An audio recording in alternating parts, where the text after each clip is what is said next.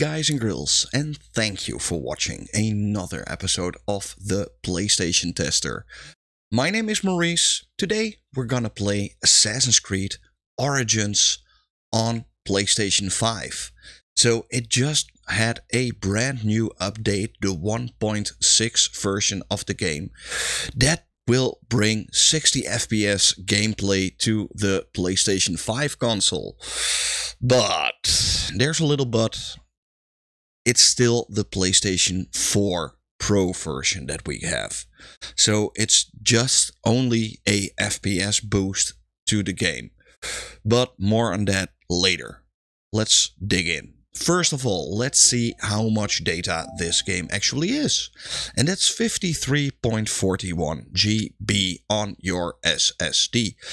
Like I said, it's version 1.6 and it's installed on my internal SSD. So let's go start it up.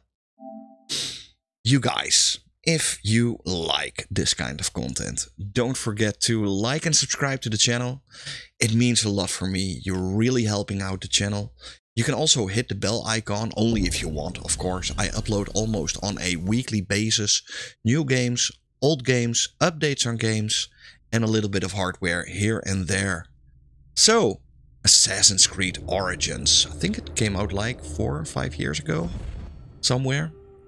So it's pretty neat that they actually updated this game after all these years to be yeah, benefiting from the new generation of consoles. Um, I think it's also one of the better ones from the last couple of years. Because, um, yeah, I'm actually a much more of a Ezio Assassin's Creed player. I love the Ezio trilogy.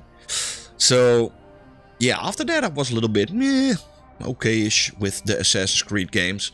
But this one I really love. So let's go start it up.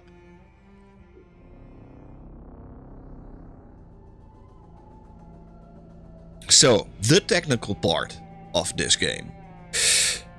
First and foremost, it runs at 60 FPS on your PlayStation 5. It is still the PlayStation 4 Pro version. So the game runs at a dynamic resolution around 1440p. So it's not 4K. There's no 4K resolution. It upscales to 4K, but it's still a yeah, around 1440p. It can go as low as 1300p, somewhere in there, I think 1350p. I will uh, put in the description down below the exact numbers, what it's running on. So, yeah. The game still looks gorgeous, by the way. Uh, it really holds up really, really well. And it's also a very fun game to play. I, I really love it.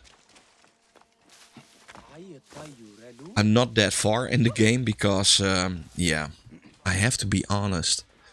I I bought this uh, this version of the game like uh, what a week ago, a few days ago, because um, one it was really cheap.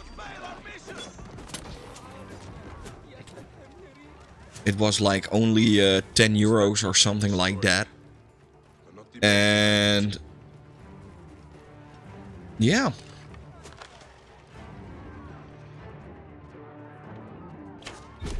Boom. And I already had it on my Xbox and really liked the game. So I was actually waiting for the new gen upgrade. And there's my oven. Don't know if you heard that heard that, but yeah.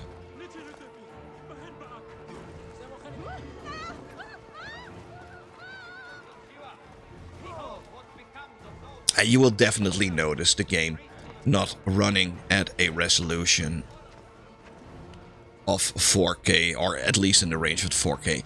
So, I don't want to say I'm disappointed, but I really was expecting a native port on the PlayStation 5, you know, with with with dual sense controls and stuff, but none of that.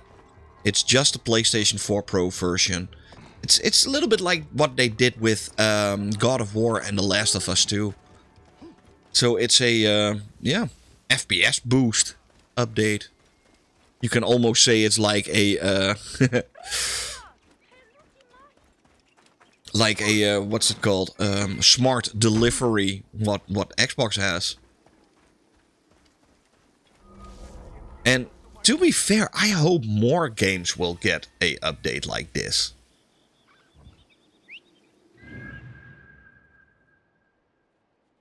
You know, games like Bloodborne or or um, uh, the the Order 1886. These games should get a a FPS boost just like this. If if if Ubisoft can do it, then yeah, then then Sony themselves could do it really easily. Let's be honest. This is gorgeous. You know why I like this version? Because I freaking love Egypt. I've been to Egypt a few times already, and um, yeah, I just love it. There, it's such a beautiful country. It's such nice people also. And uh, yeah, there's so much history in this country. Oh my goodness.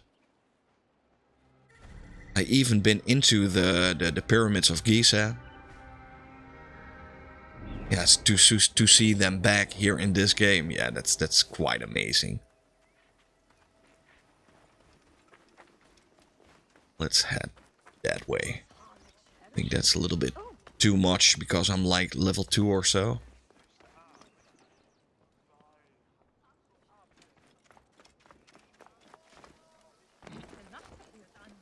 It does still have a little bit of uh, motion blur. I wish they had an option to put motion blur on or off. That would be cool if they could do that in the future. But next to that, I have nothing to complain. It's a really cool game. You can get it for like really cheap. But yeah, really cheap. And if you never played it, yeah, it's an amazing playthrough.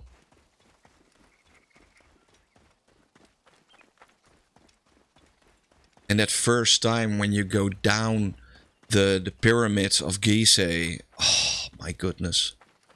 That looked so great.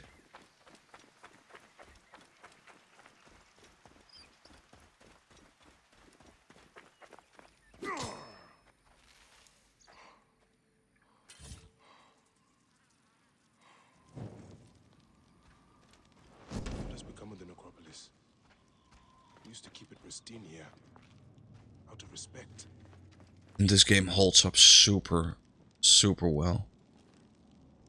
Grandfather. mummies. Hello, mummies.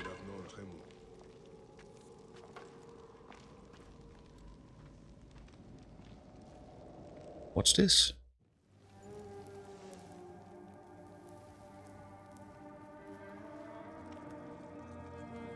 It has been too long, son.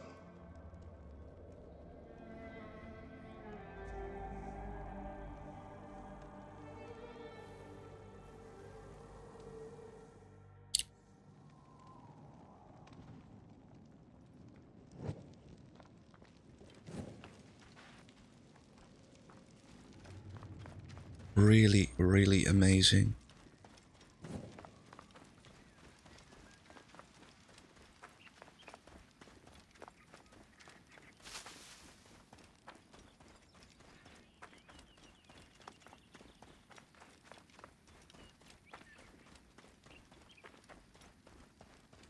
And the good thing about this is if you have a external SSD or hard drive, you can still play this game optimized at 60 FPS on your external hard drive. So you don't need to install this game on your internal hard drive. So that's also pretty cool. Because, yeah, let's be honest, the, the, the, the PlayStation 5 has like, what, 800 GB and uh, 600 in total what you can use. Something like that. So and this game is still like 50 uh, 50 GB. So it's pretty uh, cool to actually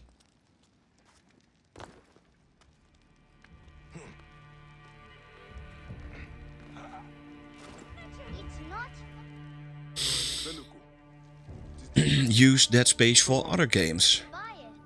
You're back? where is Chensira? He wanted to see the skulls in the hyena den. But yeah, you guys, this is Assassin's Creed Origins running on a PlayStation 5 with 60 FPS. And um, yeah, I think it's gorgeous. Go check it out. You guys, I really want to thank you for watching. I hope you had fun. And I hope to see you soon in another one. Bye.